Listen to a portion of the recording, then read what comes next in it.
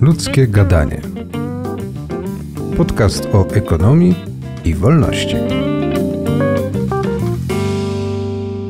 Dzień dobry Państwu, Mateusz Benedyk, Instytut Misesa.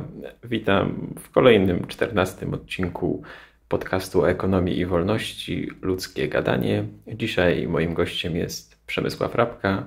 Witaj Przemku. Cześć Mateusz, witam Państwa. E, chcę dzisiaj z Przemkiem porozmawiać na temat nowoczesnej teorii monetarnej, czy według angielskiej nazwy Modern Monetary Theory i postaramy się zastanowić, czy ta teoria pozwala nam spojrzeć w jakiś świeży sposób na problemy związane z pieniądzem, bankowością, inflacją, finansami publicznymi.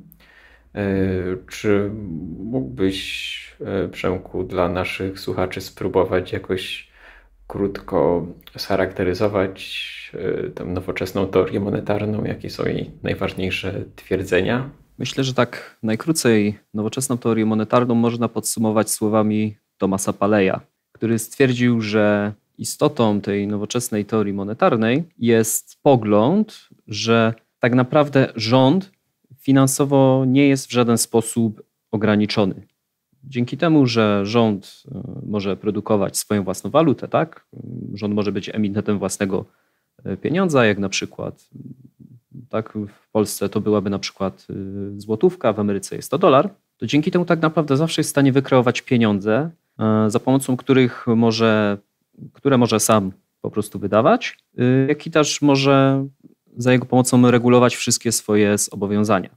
I według samych zwolenników nowoczesnej teorii monetarnej, mm, ten pogląd ma mieć kilka bardzo istotnych konsekwencji dla polityki gospodarczej, jaką może prowadzić państwo. I teraz oni twierdzą w ten sposób, że skoro to samo państwo kreuje pieniądz, to przede wszystkim samo państwo kreuje pieniądz y, w formie wydatków.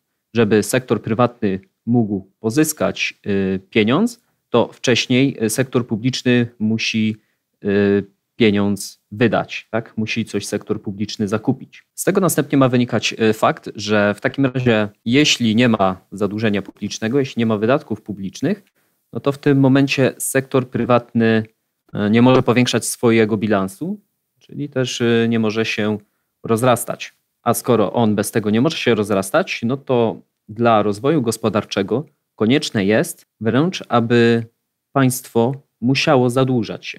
Tak? Czyli, że wręcz y, deficyty publiczne są, i że nawet one nie są problematyczne, deficyt publiczny staje się czymś wręcz pożądanym e, w tym y, spojrzeniu nowoczesnej teorii monetarnej. To zanim jeszcze przejdziemy do weryfikacji tych różnych twierdzeń, które wymieniłeś, czyli mamy na przykład to, że rząd y, nie mo- rządowi nie może zabraknąć pieniędzy, jeśli kontroluje swoją własną e, walutę, że pieniądz jest kierowany poprzez y, wydatki rządowe, czy że dług publiczny sprawia, że sektor prywatny jest bogatszy i jest niezbędnym warunkiem rozwoju gospodarczego. To mamy tutaj z tego co słyszę takie trzy odważne tezy, ale mm, gdybyś miał powiedzieć krótko, czy na przykład ten opis y, nowoczesnej teorii monetarnej dobrze oddaje system kreacji pieniądza, powiedzmy w Polsce czy w Stanach Zjednoczonych? Czy to jest dobry opis tego, jak obecnie tworzony jest pieniądz i jak działa związek państwa z pieniądzem? Myślę, że to nie jest dobry opis tego, jak faktycznie pieniądz powstaje. Jednak obecnie często wprowadza się ograniczenia tego, jak państwo wydatkuje swoje pieniądze w ten sposób, że na przykład w Polsce na koniec dnia nie może być żadnego deficytu na rachunku bankowym y, rządu polskiego. Tak, na koniec dnia jakby nie może być żadnego deficytu, w tym sensie, że są jakieś wydatki, na które nie zdobyto w żaden sposób pieniądza. Albo pieniądz musi pójść po prostu ze skarbu państwa, albo musi być na to zaciągnięty po prostu dług publiczny. Więc e, wprowadzono w rzeczywistości pewne ograniczenie instytucjonalne na rząd takie, żeby on właśnie nie mógł e, kreować tego pieniądza. Tak, mamy artykuł Konstytucji, który mówi, że budżet państwa nie może przewidywać finansowania deficytu przez Narodowy Bank Polski. Więc jakby te postulaty MMT są właśnie postulatami, tylko w przypadku Polski jakby nie opisują tego, jak rzeczywiście pieniądz w Polsce jest kreowany, bo jest kreowany jednak głównie i w zwykłych czasach przede wszystkim przez sektor banków komercyjnych, które udzielając kredytów czy skupując papiery wartościowe tworzą dodatkowe depozyty, których ludzie używają jako substytutów pieniądza. Więc jakby to chyba jedna ważna rzecz, którą warto na początku zaznaczyć, że ludzie związani z MMT mm, często nieco jakby mylą to postulat tego, jak według nich ma system pieniężny wyglądać, z analizą tego, jak współczesny system pieniężny działa. Wydaje mi się, że to jest jakaś taka jednak ważna niezgodność. Tak, tu się z Tobą absolutnie zgadzam. Y, a czy powiedzmy w Stanach Zjednoczonych, czy w innych państwach to, to byłoby lepsze? Czy, czy mamy przykład jakiegoś państwa, gdzie to by rzeczywiście tak działało? E, osobiście nie kojarzę. Jednak standardem jest y, na całym świecie to, że jednak mamy pewien rozdział produkcji pieniądza od budżetu państwa. E, dlatego też funkcję tę przekazano bankom centralnym i podkreśla się e, rolę niezależności banków centralnych, a także dlatego polityka monetarna jest czymś odrębnym od polityki fiskalnej i politykę monetarną prowadzą odrębne organy. To skoro już tę ważną kwestię mamy pokrótce rozstrzygniętą, to powiedzmy, załóżmy, że jednak przeprowadzimy zmiany prawne, które pozwolą na funkcjonowanie systemu postulowanego przez zwolenników nowoczesnej teorii monetarnej i rzeczywiście y, rząd y, będzie mógł finansować swoje wydatki bezpośrednio y, z kreacji pieniądza przez bank centralny. Czy w takim razie, jakie ograniczenia, czy jeśli w ogóle jakieś w takim przypadku miałyby wydatki rządowe? Państwo w tym przypadku natrafiałoby na kilka różnych y, ograniczeń swoich wydatków. Przede wszystkim byłyby to pewne ograniczenia realne, ale pojawiłyby się też pewne ograniczenia y, finansowe. Zacznijmy może od pewnych ograniczeń realnych. Nie zapominajmy, że immanentną cechą rzeczywistości jest to, że jednak dobra, towary, jak i też usługi, tak naprawdę są one rzadkie, czyli że system ekonomiczny musi dokonać jakiegoś ich racjonowania. Musimy decydować, y, kiedy i w jaki sposób te wszystkie usługi i dobra będą wykorzystane. Tego problemu nie da się przeskoczyć y, za pomocą y, drukowania pieniądza. Więc zawsze w pewnym momencie, kiedy państwo po prostu będzie finansować swoje wydatki po prostu kreacją pieniądza, no to kiedyś ta inflacja się pojawi. Do pewnego stopnia MMT ta nowoczesna teoria monetarna zdaje sobie sprawę z tego ograniczenia, e, jednak nie zdają sobie sprawy z tego, jak bardzo jest to poważne ograniczenie i jak szybko państwo potrafi e, natrafić na te ściany, czy jak szybko państwo natrafi na problem e, rzadkości zasobów. Chodzi o to, że nowoczesna teoria monetarna wyznaje, jak to się niekiedy określa, progową teorię inflacji. Według tej progowej teorii inflacji, mm, inflacja zaczyna się dopiero wtedy, y, kiedy w gospodarce będą zatrudnione wszystkie czynniki produkcji. Kiedy już będą zatrudnione wszystkie czynniki produkcji, no to dalsze zwiększanie zagregowanego popytu, czyli po prostu dalsze zwiększanie wydatków, y, nie będzie mogło zwiększyć produkcji, będzie mogło jedynie zwiększyć ceny. Niestety ten pogląd e, nie jest w stanie nam wytłumaczyć, dlaczego mieliśmy do czynienia z epizodem e, stagflacji w latach 70., e, więc wiemy, że taki pogląd na tą inflację jest po prostu błędny.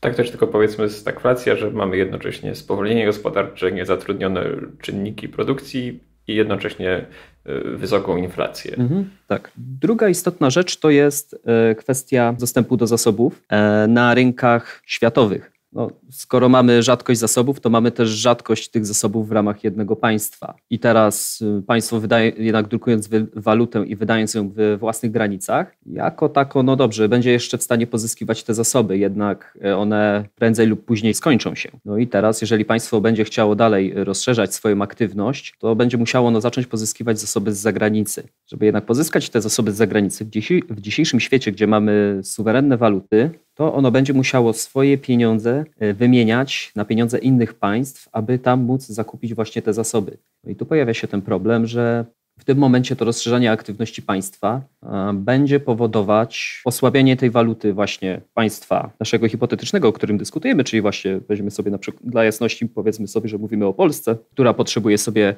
pozyskiwać jakieś zasoby z zagranicy, to jeżeli ona zacznie po prostu drukować pieniądze i za nie kupować na przykład euro na masową skalę, aby kupować coś w państwach Unii Europejskiej, no to bardzo szybko złotówka zacznie się osłabiać y, w stosunku do euro, jak i też prawdopodobnie państwo polskie zaczęłoby zaciągać y, dług publiczny w euro i to by było kolejne ograniczenie finansowe.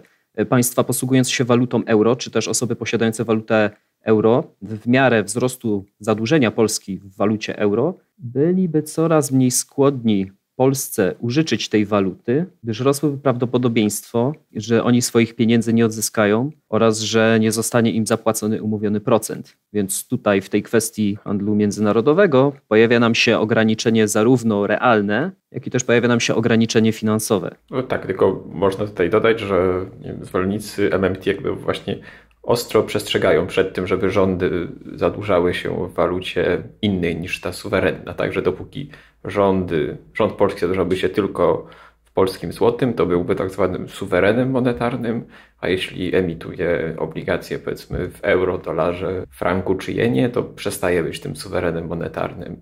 E, tylko właśnie tutaj jest ten ważny punkt, że państwa, które są powiedzmy niewielkie, jak Polska, nie są jeszcze jakoś bardzo bogate, jak powiedzmy Szwajcaria, muszą także polegać na imporcie kapitału z zagranicy, żeby szybciej się e, rozwijać, jak o tym wspominałeś. Więc to na przykład, że e, dajmy na to Wenezuela czy Grecja e, chciały zadłużać się w innej walucie niż ich własna. Tak? Dlatego na przykład Grecja zmieniła swoją narodową walutę na euro. Jest to właśnie, żeby móc przyciągać więcej kapitału zagranicy. Tak więc jakby jest taki ważny koszt alternatywny tego, że korzystamy tylko z własnej waluty w obecnym systemie e, pieniężnym i, i warto o tym pamiętać.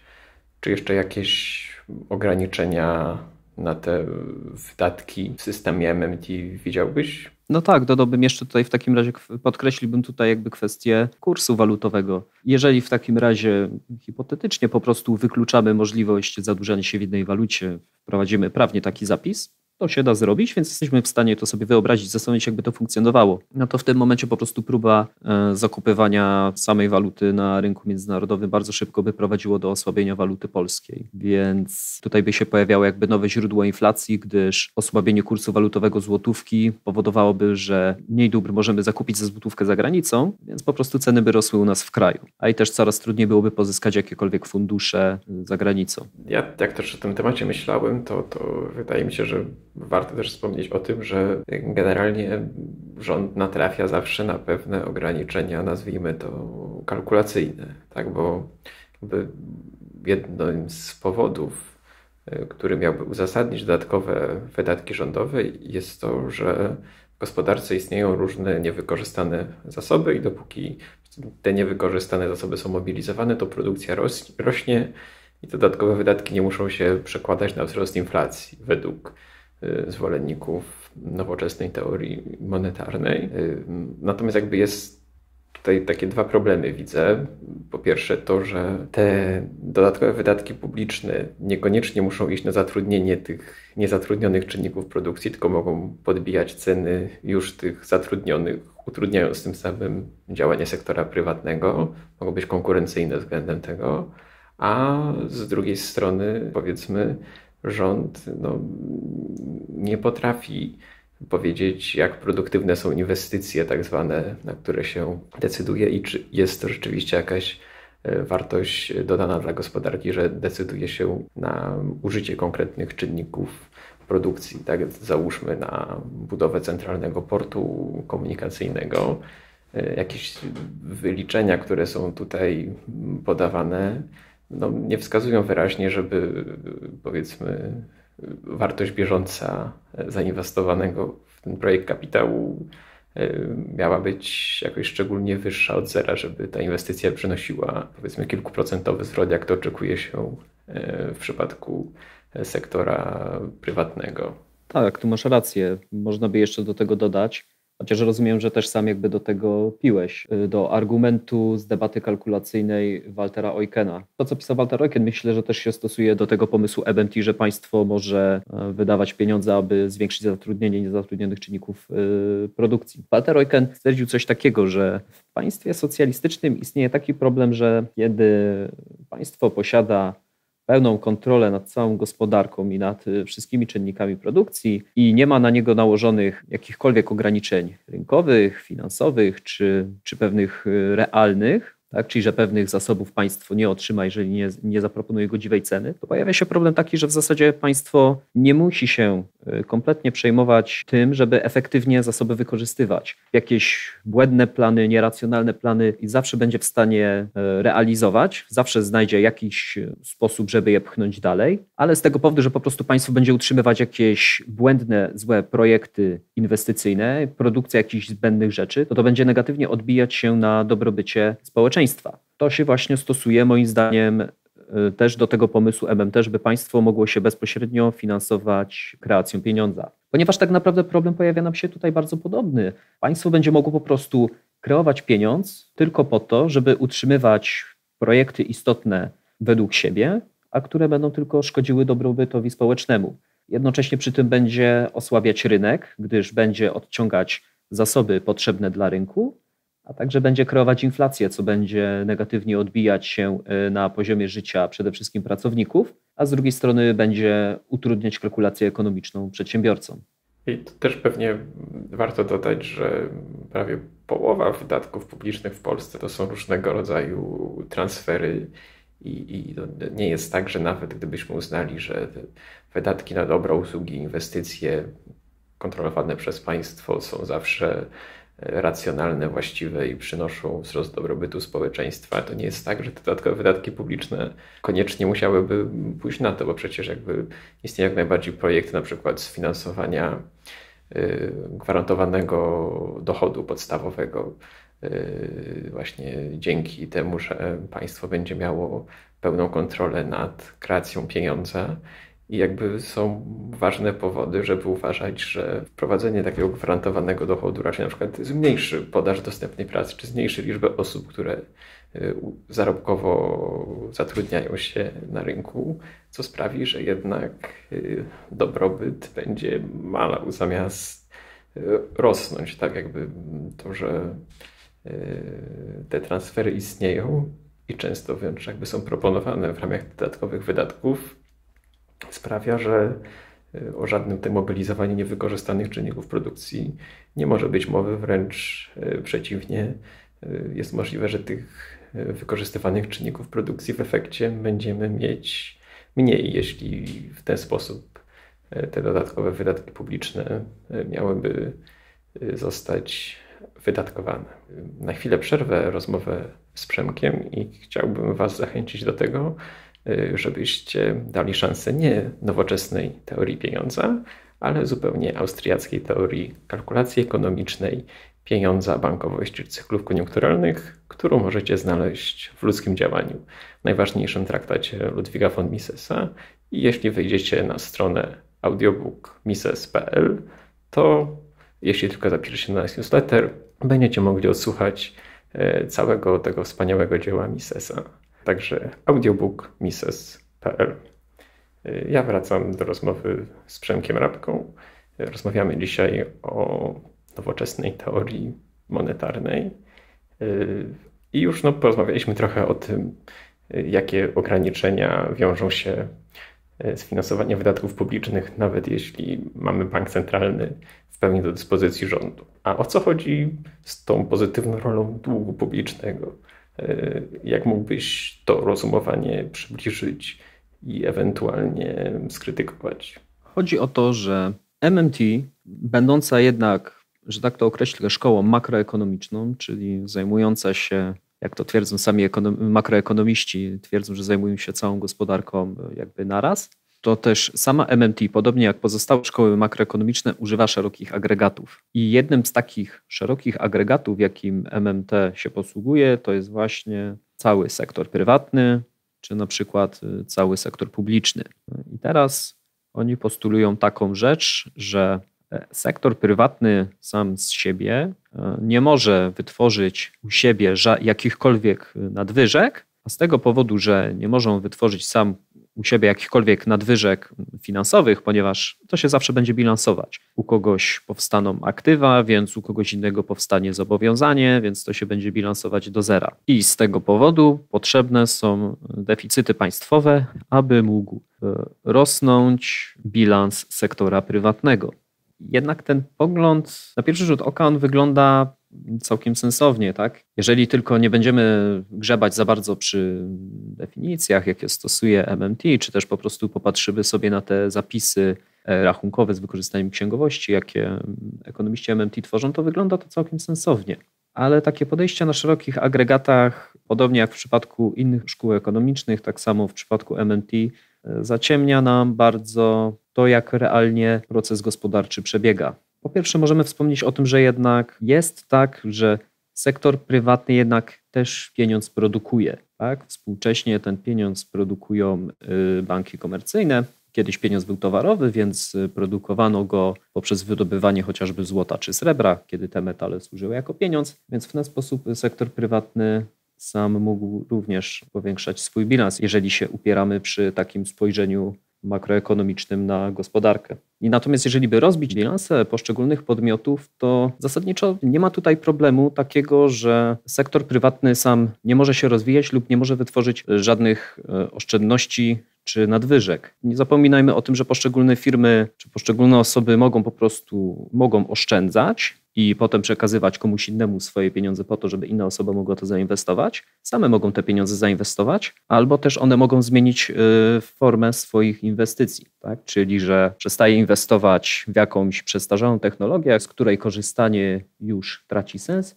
i zaczynam inwestować w pewną nową technologię. Więc jeśli chodzi o pewne wydatki nominalne, to tutaj niekoniecznie coś się musi zmieniać, ale postęp gospodarczy i pewien realny dobrobyt w takiej hipotetycznej sytuacji rósłby dalej. Co więcej, e, nawiązując do tego, o czym wcześniej e, rozmawialiśmy z Mateuszem, mówiąc o tym, że sektor publiczny odciąga swoimi wydatkami zasoby z sektora prywatnego, to tak, rozbijając te szerokie agregaty, którym posługuje się MMT, ponownie właśnie zauważymy ten problem, że kiedy sektor publiczny zadłuża się, kiedy on wydaje swoje pieniądze, to on właśnie wydaje te pieniądze na jakieś dobra, na jakieś usługi, z których teraz już nie będzie korzystał sektor prywatny i nie będzie ich alokował zgodnie ze swoim y, racjonalnym rachunkiem ekonomicznym to dodałbym taką rzecz, że nawet jeśli sektor publiczny powiększyłby w jakiś sposób ten taki wielki bilans sektora prywatnego swoim długiem publicznym, to jeszcze to nie oznacza, że to będzie miało pozytywny wpływ. Tak, tu jeszcze tak od razu można powiedzieć, że MMT ma tutaj trochę trudnych przypadków do interpretacji, bo na przykład są państwa, jeśli pamięć nie myli, jak Szwecja i Dania, gdzie jednak potrafi być dobrych kilka takich lat, kiedy nawet nominalny dług publiczny y, maleje i jakoś nie ma z tego powodu gospodarczej katastrofy, nie brakuje tam pieniędzy na płatności, tylko te kraje potrafią się rozwijać w zupełnie normalnym, jak na bogate, rozwinięte kraje tempie. Ale jeszcze wracając do samego tutaj, myślę, clue tego problemu, to tutaj jest taka nie wiem jak nazwać, sztuczka słowna, e, czy coś takiego użyte. Mianowicie zwolennicy MMT mówią, że sektor prywatny nie może mieć oszczędności netto bez deficytu finansów publicznych. Ale to nie oznacza, że sektor prywatny nie może mieć oszczędności bez przymiotnika. Tak, bo jakby oszczędności netto są po prostu w tym systemie rachunkowości narodowej definiowane jako oszczędności większe od inwestycji. Czyli jeśli mamy normalnie działający system pośrednictwa finansowego i na przykład ja oszczędzam swój dochód i biorę udział, e, dajmy na to w debiucie Allegro na giełdzie papierów wartościowych i przekazuję moje oszczędności konkretnej spółce kapitałowej, która to później E, inwestuje, to jak najbardziej wzrosły oszczędności prywatne, wzrosły inwestycje prywatne, natomiast według tego systemu nie pojawiły się żadne oszczędności netto. Tylko jest to fakt generalnie bez wielkiego znaczenia gospodarczego, tak jak wspominałeś. Tak? sektor prywatny może się zupełnie dobrze rozwijać, nie mając żadnych tak zwanych y, oszczędności netto. Y, czy jeszcze coś do tej analizy długu publicznego chciałbyś dodać? Y, dorzuciłbym tutaj tę kwestię, że teraz przyszło mi to do głowy, że w sumie MMT w ogóle jakby nie zwraca uwagi na dostosowania cen co w sobie wynika z tego takiego typowego makroekonomicznego podejścia do analizowania gospodarek. Jesteśmy w stanie sobie po prostu wyobrazić taką gospodarkę, która z powodu stałego wzrostu produktywności y, będą w niej stale po prostu spadać ceny, a z tego powodu, chociaż oszczędności nominalnie nie muszą rosnąć, to będą one rosły realnie. Tak, tak i realne dochody także mogą rosnąć jak najbardziej. Także. A zacząłeś już trochę mówić o tym, jak zwolennicy nowoczesnej teorii monetarnej postrzegają inflację. No i tam są takie też ciekawe paradoksy, można by powiedzieć, na przykład to, że y, głównym narzędziem walki z inflacją, jeśli dobrze rozumiem, jest podnoszenie podatków. Czy ten punkt teorii coś ciekawego nam o świecie pieniądza mówi? No właśnie, powiedziałbym, że nie. Jak na moje jest to pomysł całkiem nietrafiony. Ale może zacznijmy od tego, że jednym z celów polityki monetarnej jest także kontrola inflacji. Tak? Wiemy, że jeżeli po prostu będziemy cały czas e, zwiększać podaż pieniądza, zwiększać ją w rosnącym tempie, a także jeżeli ten pieniądz będziemy tłoczyć do gospodarki przede wszystkim poprzez przekazywanie go konsumentom, aby mogli go wydawać na dobra konsumpcyjne, to w tym momencie jest duże prawdopodobieństwo, że inflacja będzie szybko rosła i jeszcze dodatkowo przyspieszała. I teraz, jak chcą sobie z tym problemem radzić zwolennicy tej nowoczesnej teorii monetarnej? Otóż uważają oni, że inflację można kontrolować i powinno kontrolować się za pomocą podatków. Zgodnie z tym, co wcześniej powiedzieliśmy, ci zwolennicy nowoczesnej teorii monetarnej twierdzą, że państwo kreuje pieniądz poprzez y, wydatki publiczne, jak i też poprzez pobieranie podatków oni ten pieniądz niszczą. To swoją drogą ma być główny cel pobierania podatków. To ma być właśnie ściąganie nadmiaru pieniądza z rynku i jego niszczenie. No, tylko pojawia się jednak problem, że walka z inflacją podatkami wcale nie musi być efektywna, z tego powodu, że po pierwsze, wzrost podatków może wywołać coś, co się nazywa tak zwaną inflacją kosztową. Podatki są mimo wszystko jednak kosztem dla firm. Kiedy te podatki, załóżmy, że nagle wybucha nam duża inflacja, no to w tym momencie państwo decyduje się mocno podnieść podatki, to pojawia się taki problem, że jednak te podatki są kosztem po prostu dla firm, a skoro firmom jeszcze dodatkowo rosną koszta, to prawdopodobnie będą ograniczać swoje funkcjonowanie, jak i też y, mogą próbować y, podnieść ceny, aby skompensować sobie ten wzrost kosztów. Więc y, przynajmniej opodatkowanie przedsiębiorstw niekoniecznie musi być dobrym pomysłem na walkę z inflacją. Druga rzecz jest taka, że z tej koncepcji kontroli inflacji, jaką proponuje nam MMT, płynie taki dosyć ciekawy wniosek, że właściwie powinniśmy wprowadzić opodatkowanie regresywne. Chodzi o to, że przede wszystkim powinniśmy opodatkowywać konsumentów, jak i też osoby powiedzmy mniej zarabiające, z tego powodu, że te osoby przeznaczają do konsumpcji największą część swojego dochodu, stanowią one źródło większości konsumpcji w gospodarce. Jeżeli chcielibyśmy ograniczyć inflację, czyli po prostu wzrost cen dóbr konsumpcyjnych, to musielibyśmy tak naprawdę zmniejszyć konsumpcję, czyli musielibyśmy opodatkować przede wszystkim te osoby, które przeznaczają więcej y, na konsumpcję. Bogatsi natomiast zwykle więcej oszczędzają i więcej y, inwestują, a konsumpcja niekoniecznie musi stanowić dużą część y, ich wydatków. Stanowi raczej relatywnie małą.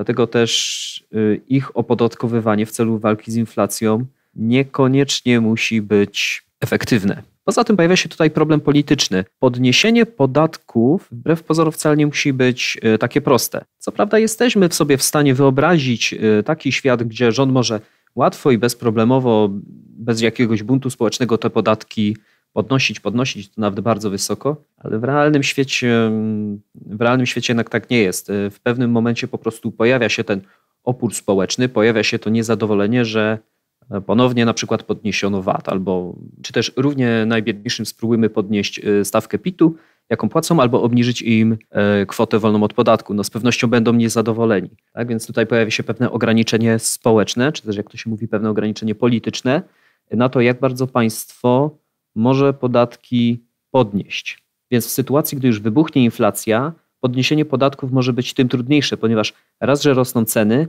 a dwa, oprócz tego, że rosną ceny, to jeszcze państwo chciałoby ludziom zabrać pieniądze. To by było bardzo trudne do przeprowadzenia. Y, też manipulowanie podatkami, y, manipulowanie stawkami podatkowymi nie jest dobrą metodą na kontrolowanie inflacji z tego powodu, że ono wprowadza utrudnienia w kalkulacji ekonomicznej dla przedsiębiorców i to tak dosyć znacząco. Przedsiębiorcy na bieżąco y, kalkulują sobie to, jak duże podatki zapłacą, y, ile zarobią sobie już y, po opodatkowaniu. I gdyby rząd miał na każdy niespodziewany, na, na, niespodziewane zmiany w wysokości stopy inflacji reagować zmianami podatkowymi, to wprowadzałoby to bardzo dużą niepewność wśród przedsiębiorców. Z pewnością woleliby oni nie prowadzić działalności gospodarczej w kraju, gdzie wysokość opodatkowania ich dochodów jest bardzo niepewna. I to samo w zasadzie stosowałoby się, to samo stosowałoby się do pracowników. Oni prawdopodobnie też woleliby mieć jasność i pewność co do tego, że będą odpowiednio wcześniej poinformowani, jak podatki będą się zmieniać. Tymczasem wiemy, że banki centralne, przynajmniej dawniej, no potrafiły dosyć gwałtownie reagować na inflację i w sposób niezapowiedziany podnosić stopy procentowe. Chociaż trochę, ale, to, ale chociaż czasami to robiły. I w przypadku współczesnego systemu monetarnego łatwiej jest mimo wszystko kontrolować inflację bankom centralnym, niż byłoby to po prostu państwu. A też tak głośno myśląc, jak to praktycznie miałoby wyglądać, bo w zasadzie na przykład mieliśmy przypadek Stanów Zjednoczonych, gdzie przez ostatnią dekadę generalnie deficyt finansów publicznych cały czas był historycznie na bardzo wysokim poziomie pomimo y, jakby długotrwałego rozwoju on y, nie spadał. I jednocześnie mieliśmy już inflację tam rzędu powiedzmy 1,5% rocznie, jak najbardziej pozytywną. Przez ostatnią dekadę, jeśli mnie pamięć nie myli, nie było w Stanach Zjednoczonych y, deflacji.